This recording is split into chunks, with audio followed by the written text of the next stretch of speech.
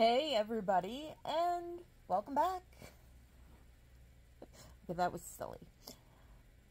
I almost started this a couple of minutes ago, but realized I hadn't plugged in my microphone. So here I am chatting away, and nothing. Well, I guess that's just life, isn't it? I promise I'm not going to have as long of, as, of an opening as I did on the last chapter. Um, I don't know what happened there. I just started talking and I couldn't stop. Um, I wanted to go out today, go run up to the store, get some stuff. But I do not want to go out outside with the boot on into that cold, slushy snow. Because I just know no matter how much I winterproof proof my boot, it's still going to get up inside. And that'll be very, very cold. I mean, I'm going to put a garbage bag around it so the uh, the padding in the boot won't get uh, messed up. But it's going to make my foot very, very chilly. And of course, I could grab a cab, but why waste $10 to go up to the store? I guess my big thing is, is I really wanted to just go to, uh, I wanted Nibbles not that I need nibbles, but I wanted nibbles. And I wanted to grab some storage. But I think it's better if I wait a bit on that. So, today we're going to go with chapter 6 of this monstrosity of a book. I haven't edited anything yet. I'm going to save all my editing for this evening uh, just because, well, my. Uh, it, I won't keep my husband awake while I'm chatting. I will uh, get as and I'll be able to put something on that's quiet in the background and just record like I don't know if you can actually hear the slight rumble of rain in the background, but I just put ASMR videos, either rain or fireplace. Excuse me. Just just because don't know if Skitter is going to join us. She is in the middle of her nap time, and I don't want to disturb her calm. She's been a very good girl today. She only yelled a couple of times while I was on the phone. Ah. So let's get going into the next chapter of the Sword of Shannara. Chapter 6 They spent the night camped within the protective fringes of the black oaks in a small clearing sheltered by the great trees and dense shrubbery which blotted out the dreariness of the lowlands of Clete less than fifty yards to the west. The heavy mist dissipated within the forest and it was possible to look skyward to the magnificent canopy of interlocking boughs and leaves several hundred feet above them. Where there had been no sign of life in the deathly lowlands, within the giant oaks mingled sounds of insects and animal life whispered through the night. It was pleasant to hear living things again, and the three weary travelers felt at ease for the first time in days. But the lingering in the back of their minds was a memory of their prior journey to this deceptively peaceful haven. When they had been lost for several long days and nearly devoured by ravenous wolves, the proud deep within its confines. Moreover, the tales of unfortunate travelers who attempted to pass through this same forest were too numerous to be disregarded. However, the young Southlanders felt reasonably secure at the edge of the Black Oaks and gratefully made preparations to start a fire. Wood was plentiful and dry. They stripped to the skin and hung their soggy garments on a line near the small blaze. A meal was quickly prepared the first hot one in five days, and devoured in minutes. The floor of the forest was soft and smooth, a comfortable bed compared to the dampened earth of the lowlands.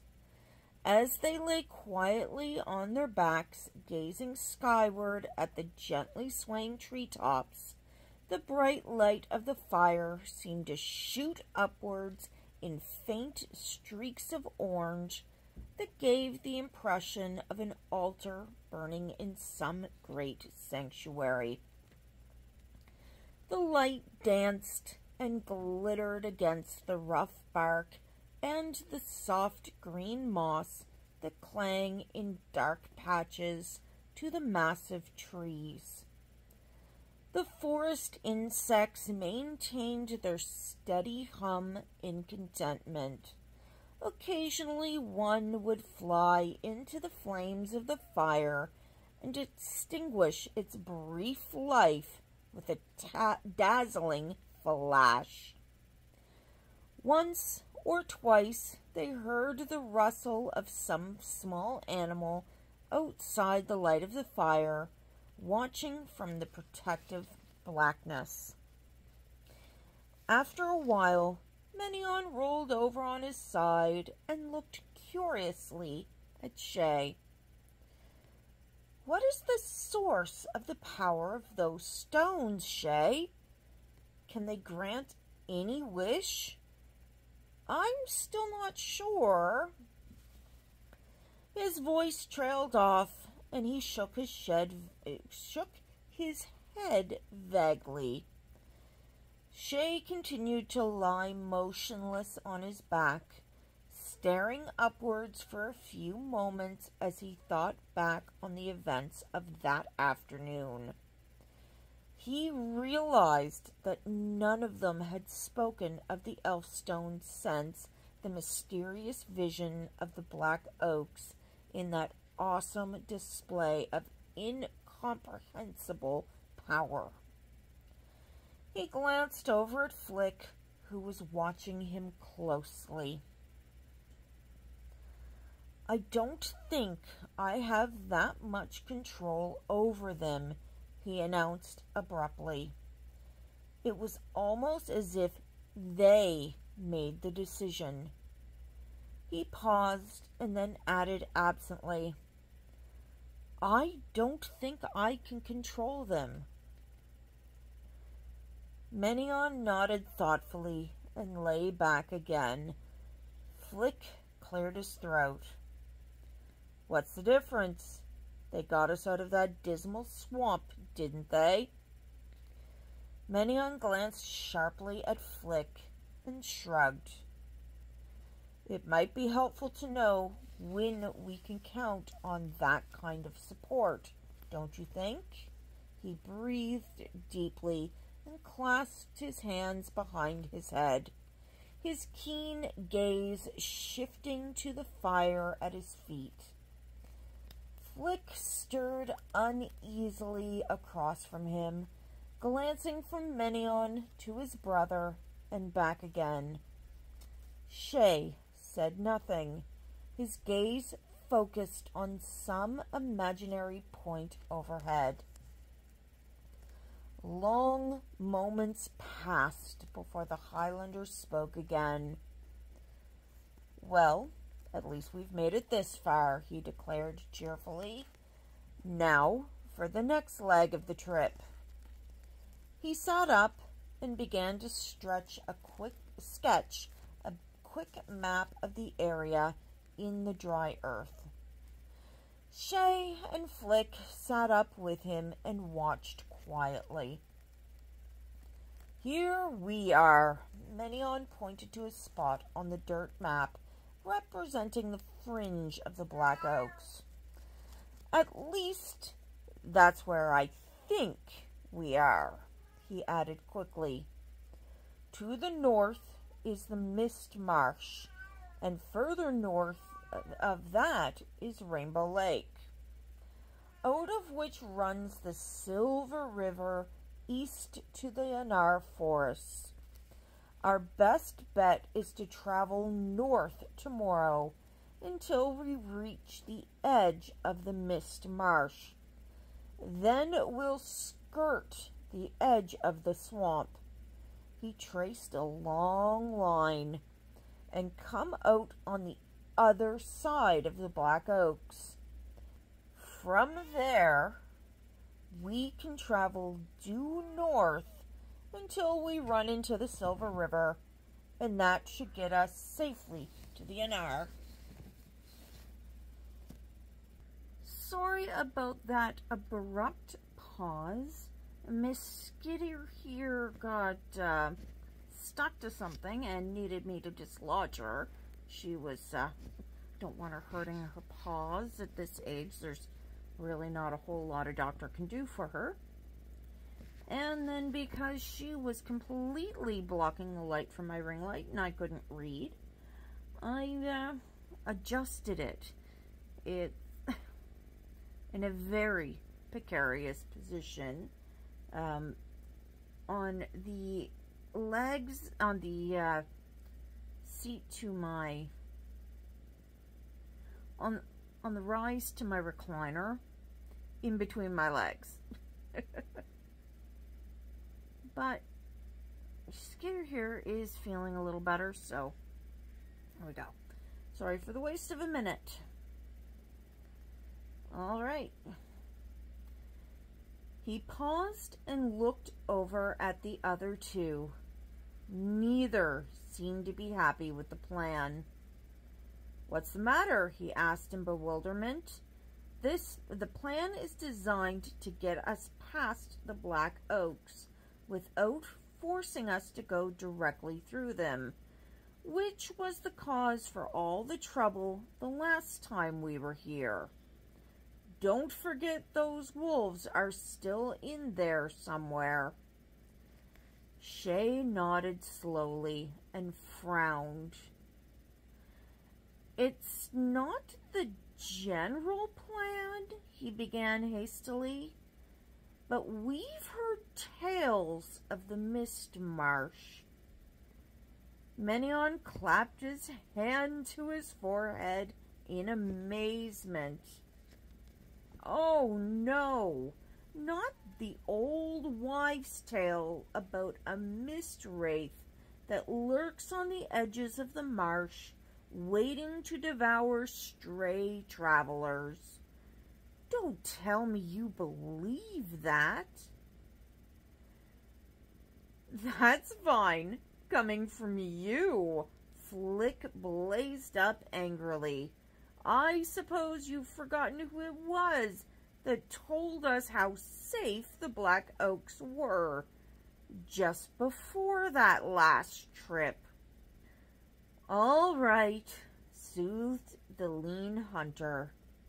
I'm not saying that this is a safe part of the country and that some very strange creatures don't inhabit these wo woods, but no one has ever seen this so-called creature of the marsh, and we have seen the wolves.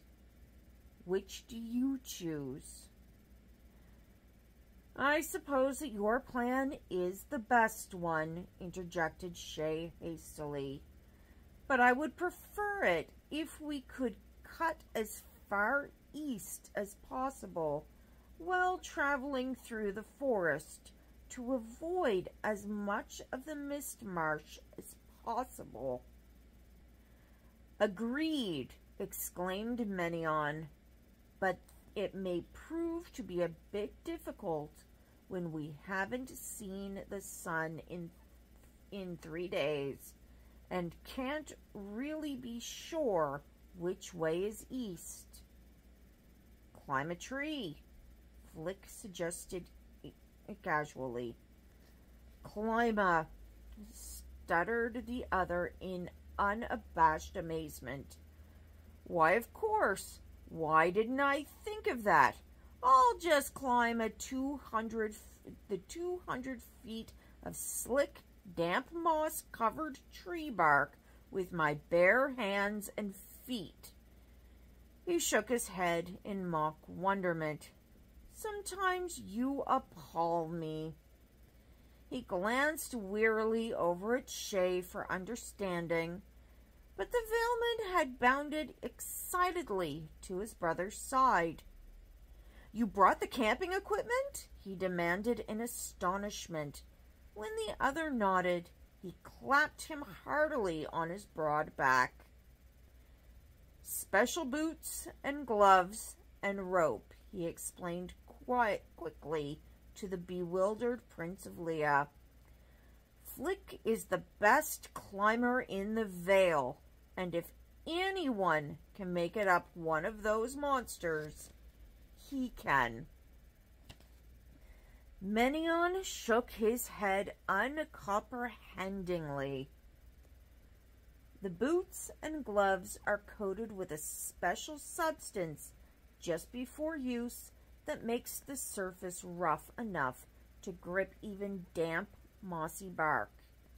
He'll be able to climb one of these oaks tomorrow and check the position of the sun. Flick grinned smugly and nodded. Yes, indeed. Wonder of wonders. Menion shook his head and looked over at the stocky Valeman. Even the slow-witted are starting to think, my friends, we may make it yet. When they awoke the following morning, the forest was still dark with only faint traces of daylight filtering through the tops of the great oaks. A thin mist had drifted in off the lowlands, which, when glimpsed from the edges of the forest, appeared as sunless and dismal as ever. It was cold in the woods, not damp, not the damp, penetrating chill of the lowland country, but rather the brisk, crisp cool of the forest's early morn. They ate a quick breakfast, and then Flick prepared to climb one of the towering oaks. He pulled on the heavy, flexible boots and gloves, which Shea then coated with a thick, pasty substance from a small container. Menion looked quizzically, but his curiosity changed to astonishment as the stocky Valeman grasped the base of the great tree and with a, a dexterity that belied both his bulky size and the difficulty of the task, proceeded to climb rapidly towards the summit. His strong limbs carried him upward through the tangle of heavy branches, and climbing became and the climbing became slower and more difficult. He was briefly lost from sight upon reaching the topmost branches, then reappeared, hast- hasting down the smooth bar- trunk to rejoin his friends. Quickly the climbing gear was packed and the group proceeded in a northeasterly direction based on Flick's report of the sun the sun's present position.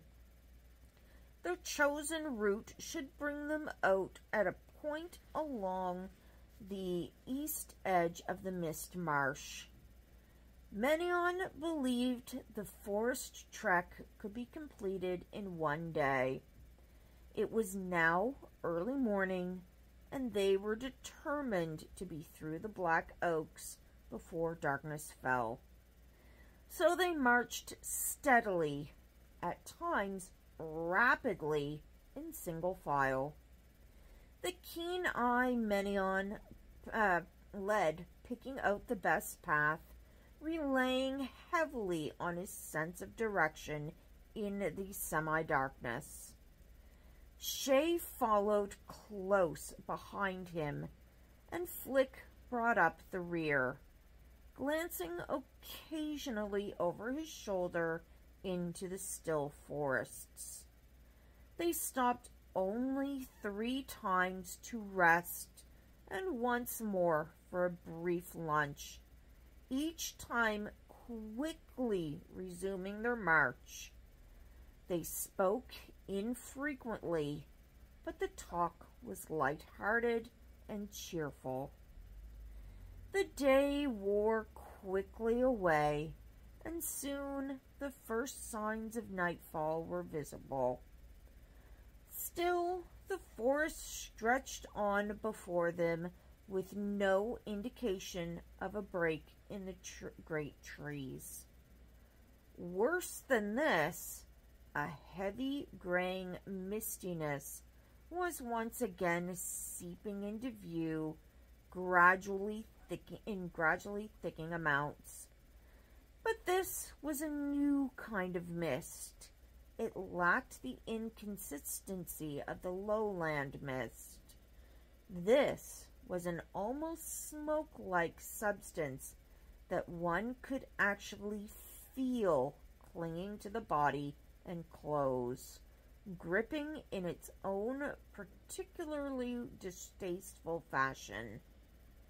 It felt seemingly like the clutching of hundreds of small, clammy, chilled hands seeking to pull the body down, and the three travelers felt an unmistakable revulsion at its insistent touch.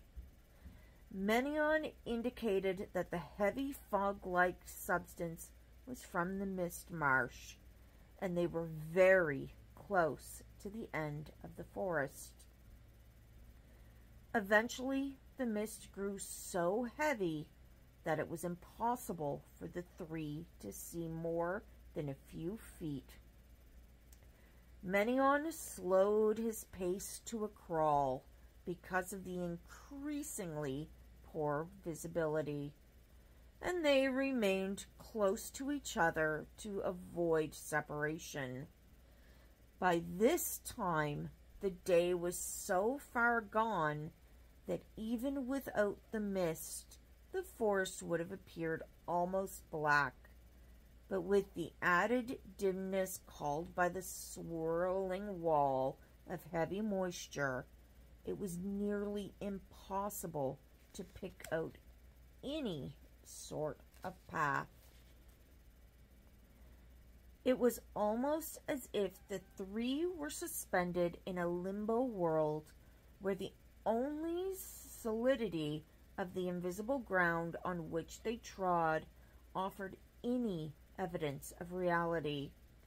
It finally became so difficult to see that Menion instructed the other two to bind themselves together, and to him by a length of rope to prevent separation.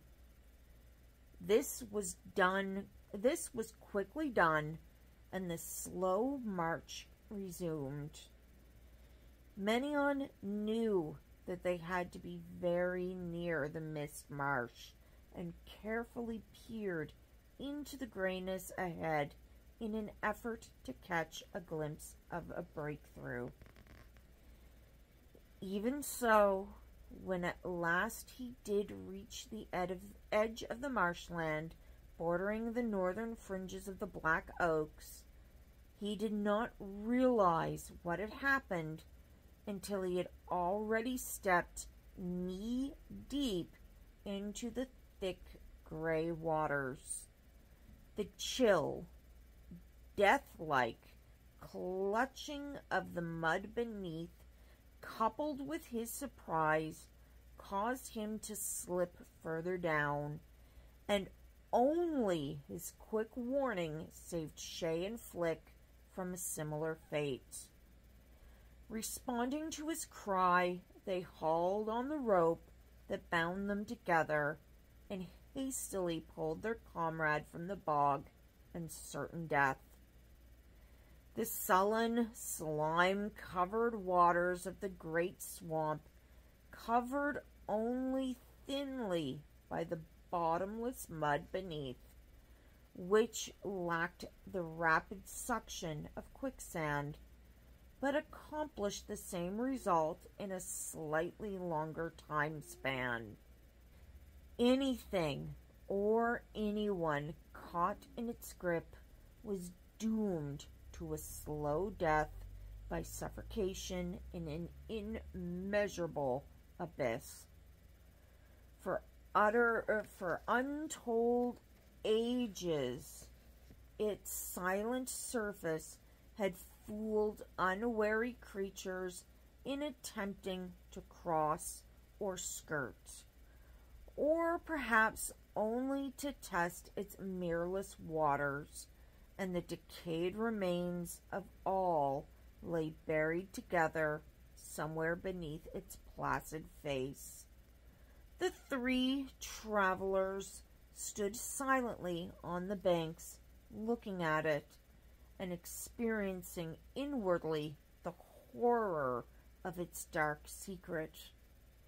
Even Menion Leah shuddered as he remembered its brief, clutching inv- invitation to him to share the fate of so many others. For one spellbound second, the dead paraded as shadows before them and were gone. What happened? exclaimed Shea suddenly, his voice breaking the silence with deafening sharpness. We should have avoided this swamp.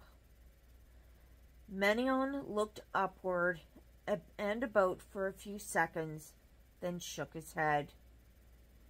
We've come too far to the west. We'll have to follow the edge of the bog around to the east until we can be, break free from this mist and the black oaks. He paused and considered the time of day.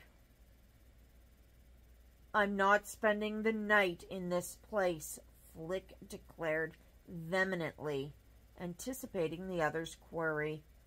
I'd rather walk all night and most of tomorrow and probably the next day.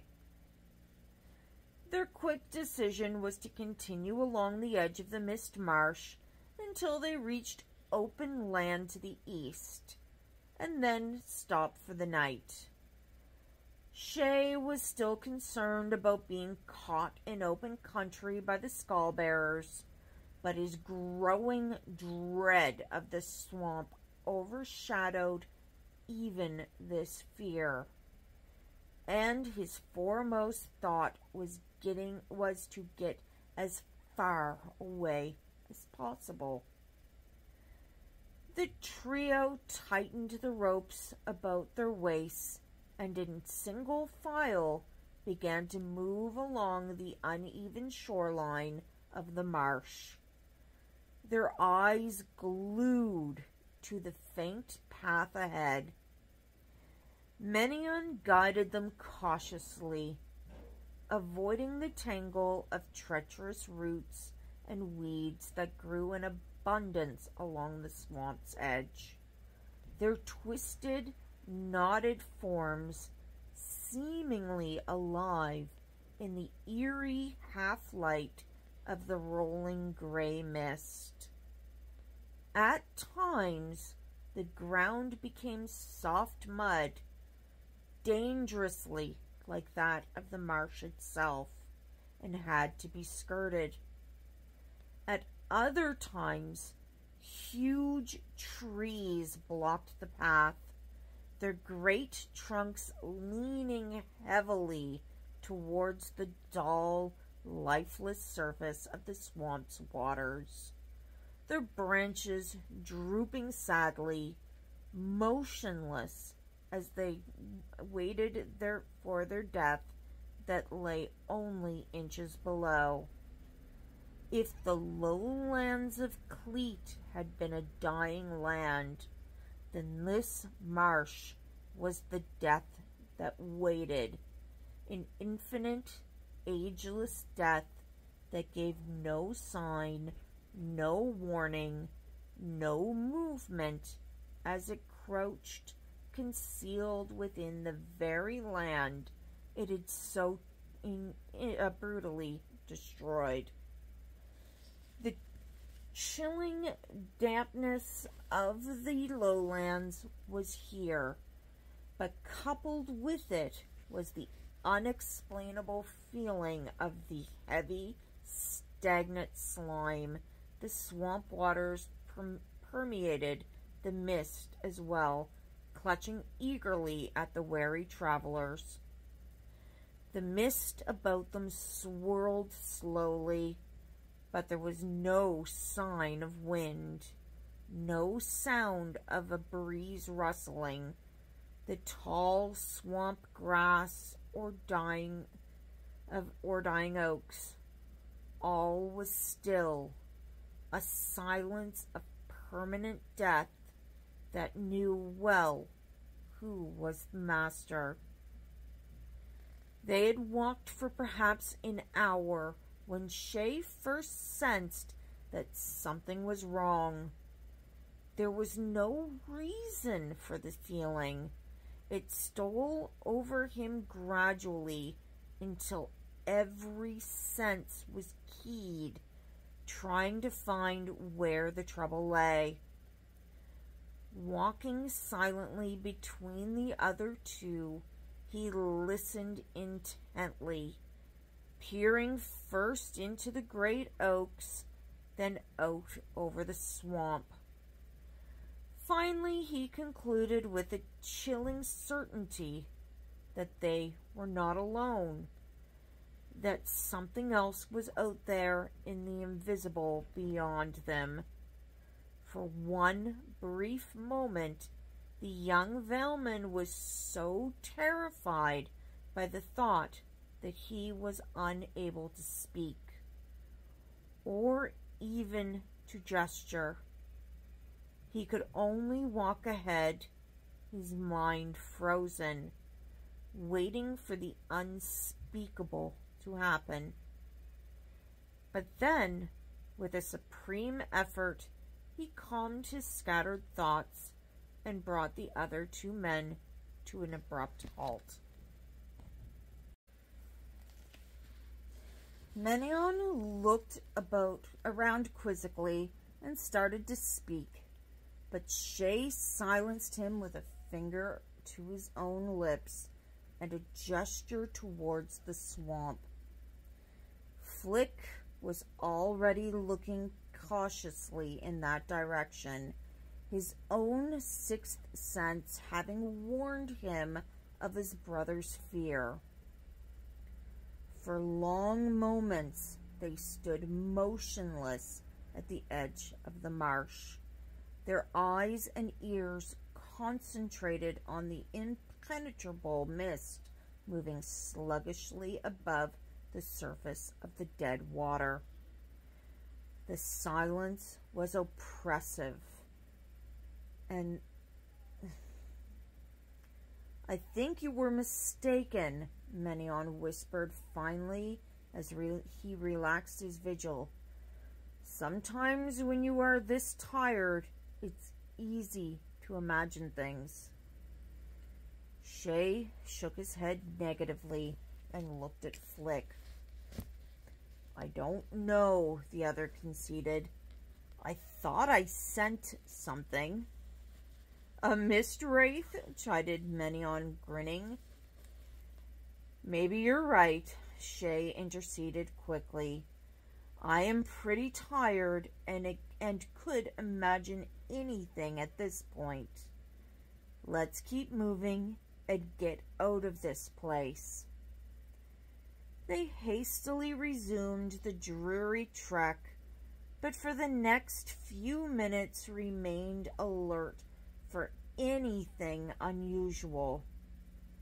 When nothing happened, they began to let their thoughts drift to other matters.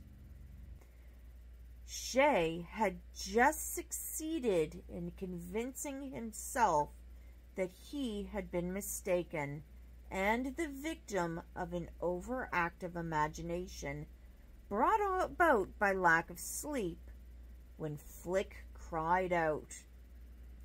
Immediately, Shea felt the rope that bound them together jerk sharply and begin to drag him in the direction of the deadly swamp. He lost his balance and fell, unable to distinguish anything in the mist. For one fleeting moment, he thought he glimpsed his brother's body suspended several feet in the air over the swamp, the rope still tied to his waist. In the next second, Shea felt the chill of the swamp grapple at his legs. They might have all been lost had it not been for the quick reflexes of the Prince of Leah. At the first sharp jerk of the rope, he had instinctively grasped at the only thing near enough to keep him on his feet. It was a huge sinking oak, its trunk embedded so far into the soft ground that its upper branches were within reach. And Menion rapidly hooked one arm about the nearest bough and with the other grasped the rope about his waist and tried to uh, pull back. Shea, now up to his knees in the swamp mud, felt the rope go taut on Menion's end and tried to brace himself to aid. Flick was crying out sharply in the darkness above the swamp, and both Menion and Shea shouted encouragement. Suddenly, the rope between Flick and Shea went slack, and out of the gray mistiness emerged the stout, struggling form of Shea of Flick Ohmsford, still suspended above the water's surface, his waist gripped by what appeared to be a sort of greenish, weed-covered tentacle. His right hand held the long silver dagger which gleamed menacingly as it slashed in repeated cuts at the thing which held him. Shea yanked hard on the rope which bound them, trying to aid his brother in breaking free. And a moment later, he succeeded as the tentacle whipped back into the mist, releasing the still struggling Flick, who promptly fell into the marsh below. Shea had barely pulled his exhausted brother from the clutches of the swamp, freed him from the rope, and helped him to his feet before several more of the greenish arms shot out of the misty darkness and knocked. Uh, they knocked the shaken flick sprawling, and one closed about the left arm of an astonished Shea before he could think to dodge. He felt himself drawn towards the swamp and drew his own dagger to strike fiercely at the slime-covered tentacle. As he fought, he caught sight of something huge out in the marsh, its bulk covered by the night and the swamp. To one side, Flick again became entangled in the grip of two more tentacles, and his stocky form was dragged relentlessly towards the water's edge. Violently, Shea broke free from the tentacle that held his arm, slashing through the repulsive limb with one great cut, struggling to reach his brother.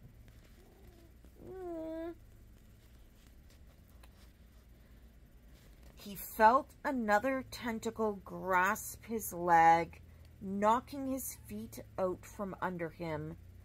As he fell, his, his head struck an oak root and he lost consciousness. Again, they were saved by Menion, his lithe form leaping out of the darkness behind, the great sword flashing dully in a wide arc as it severed in one powerful swing the tentacle that held the unconscious Shea.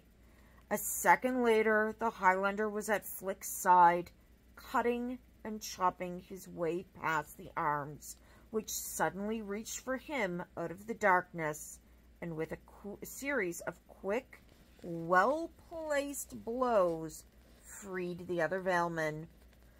For a moment, the tentacles disappeared back into the mist of the swamp, and Flick and Menion hastened to pull the unconscious Shea back from the unprotected edge of the water.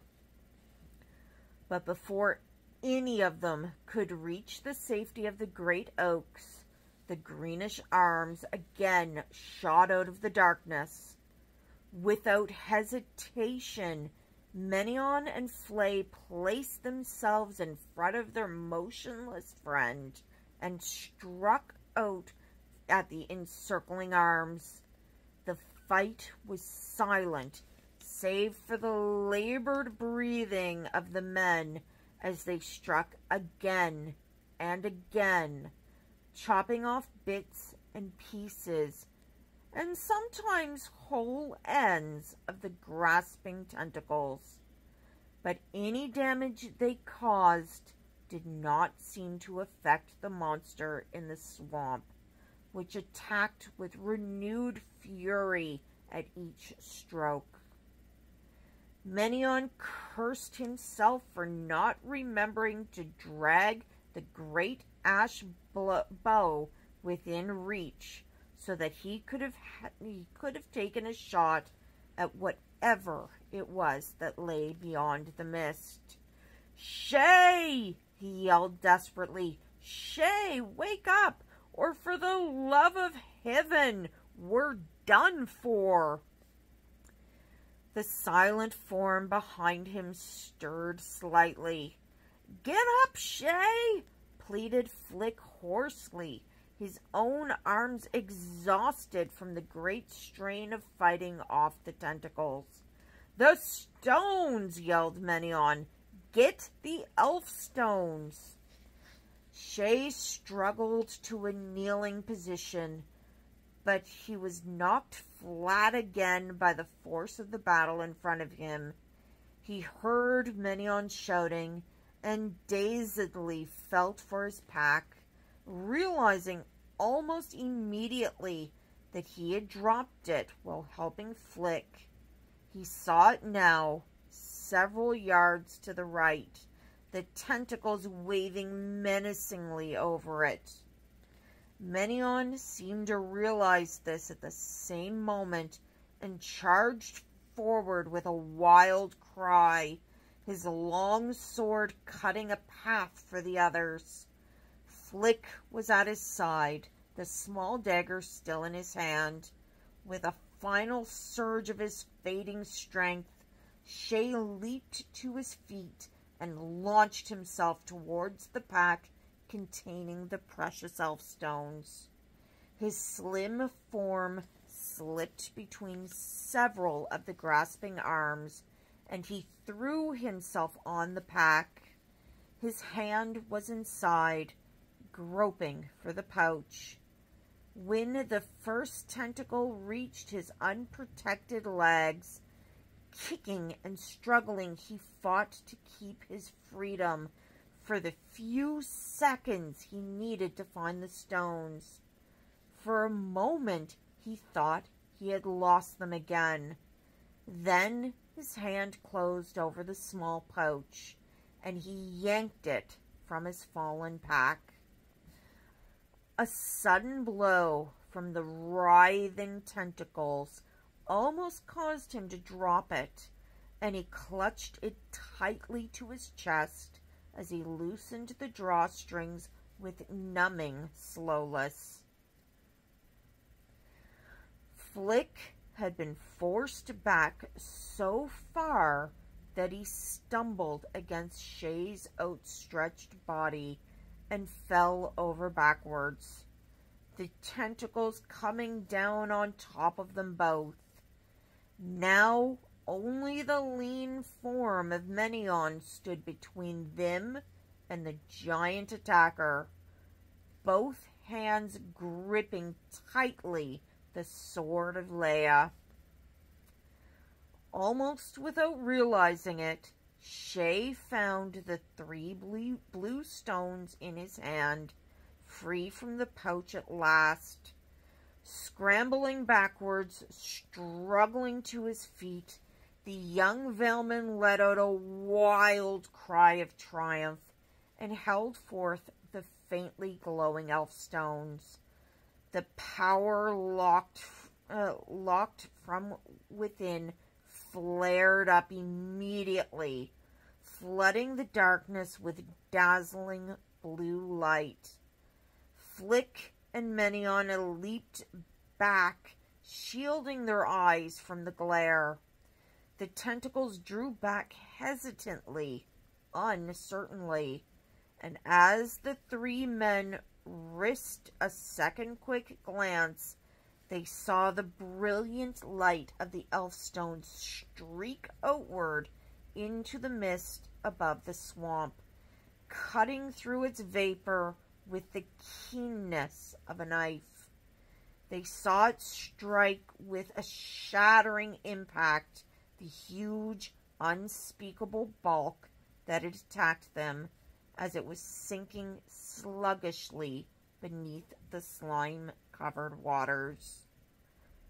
At the same instant, the glare above the disappearing monster reached the internally uh, the intensity of a small sun and the water steamed with blue flames that seared upward into the shrouded sky.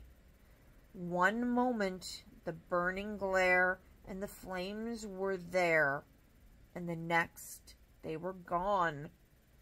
The mist and the night returned, and the three companions were alone again in the blackness of the marshland.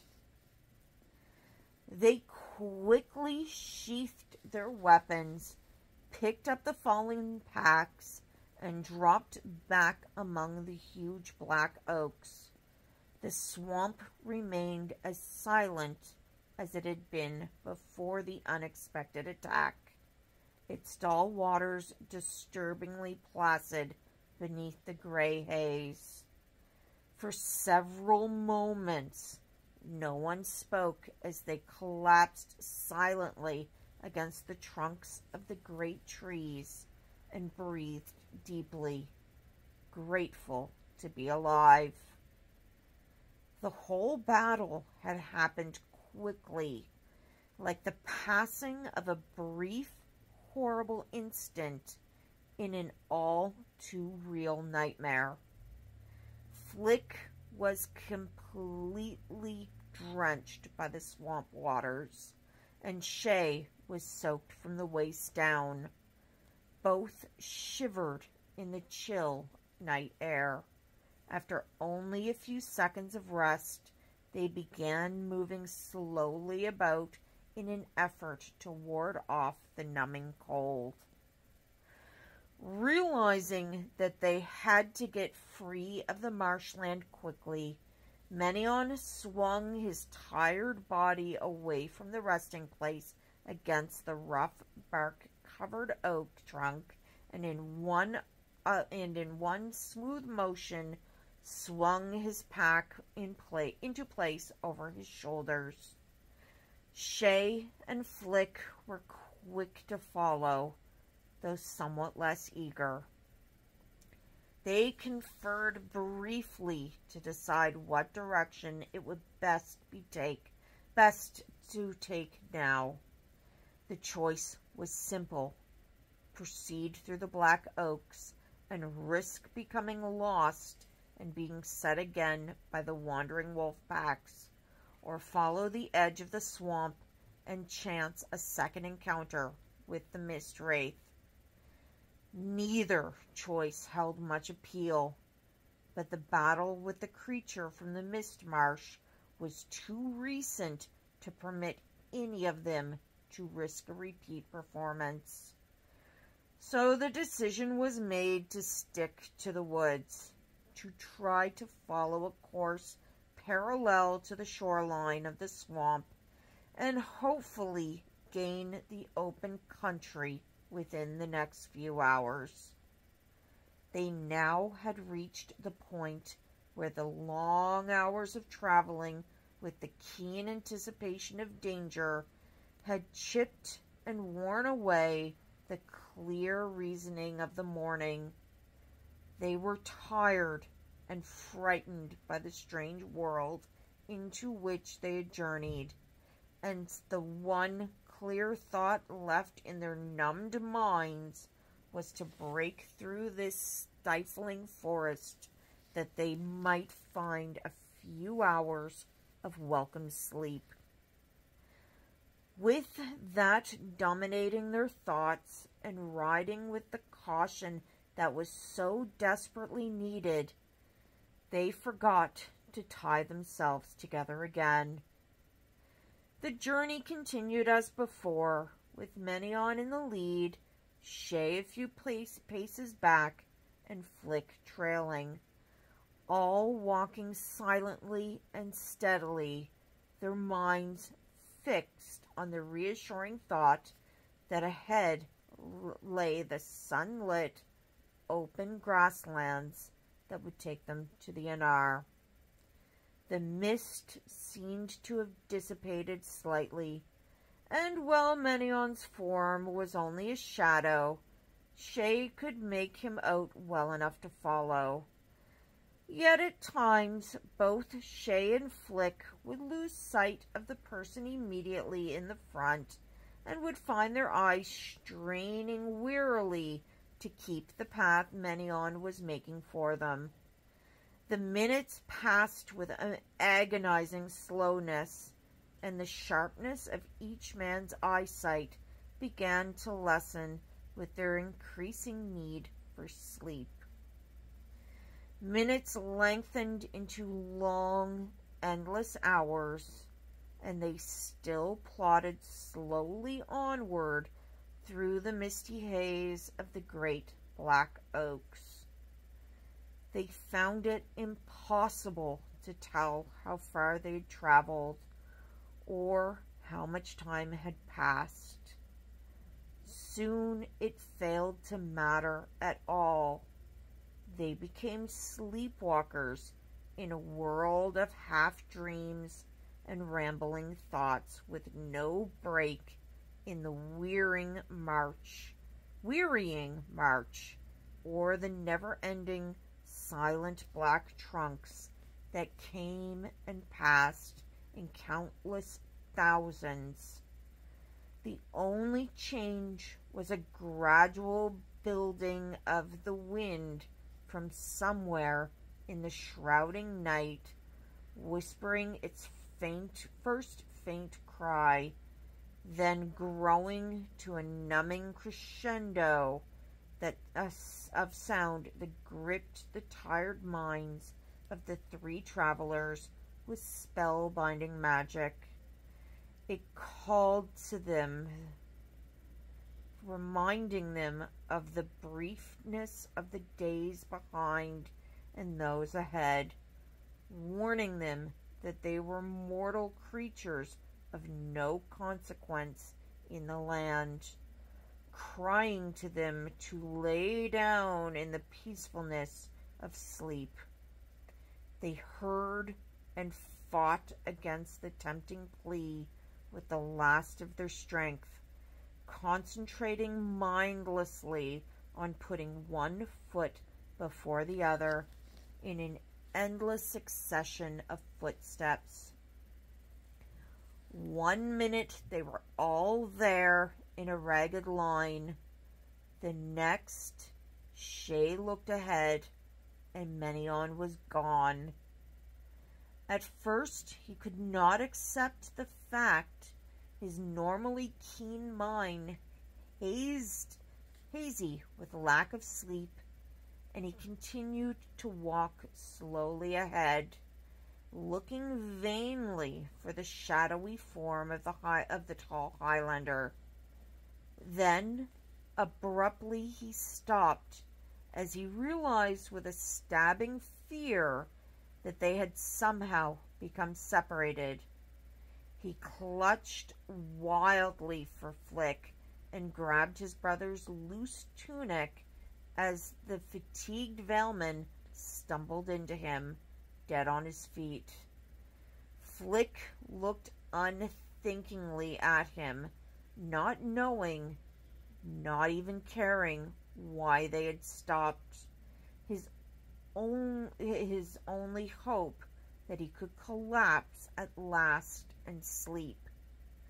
The wind in the darkness of the forest seemed to howl in wild glee, and Shea called desperately for the Highland Prince and heard only the echoes of his own futile cry.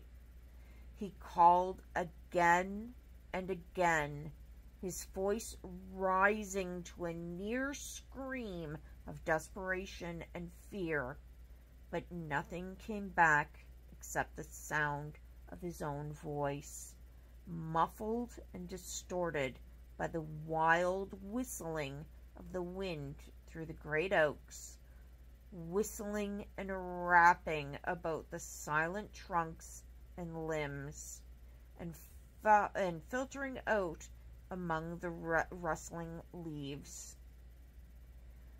Once he thought he heard his own name called answering eagerly. He dragged himself and the exhausted Flick through the maze of trees towards the sound of the cry. But there was nothing. Dropping to the forest floor, he called until his voice gave out, but only the wind replied in mocking laughter to tell him that he lost the prince of Leah. And that, my dear friends, is the end of chapter 6. So, I think that was just about as long as the previous chapter was. I know it's going to be a little over an hour. Um, and holy, oh my goodness, run on effing sentences there were sentences that were like five, six lines long. And I was trying to find a good place to take a breath, but there wasn't any good place. And then the words would start to peter out, and I was like, let's get that next word out. I am sorry if there's any gasps or sounds really weird. Sorry, uh, I'm in a little bit of a different position now. I am holding the phone with my hands. I don't have the microphone plugged in. Just as I finished the chapter, we had a fire alarm in the building and I had to rush to get my cats into their carrier, get my surgical boot on, get my walker, and get the heck out of here, only to find out it was a false alarm. Well, thank God it was a false alarm but still, is a little frustrating. Whew. So I just got back up. I my package from Amazon should be delivered very shortly. So I may actually, if I can get it working, I may actually stream a little this, eve- uh, this evening. Um, and I'm very much, very, very much looking forward to doing that. Oh, sorry for the craziness. You guys are all wonderful. We'll uh, see you again soon. Uh, hope you have a great morning, afternoon, evening, whatever it is there. And please like, comment, and subscribe if you want. If not, I'm just very thankful that you came today. Have a great one. Bye bye.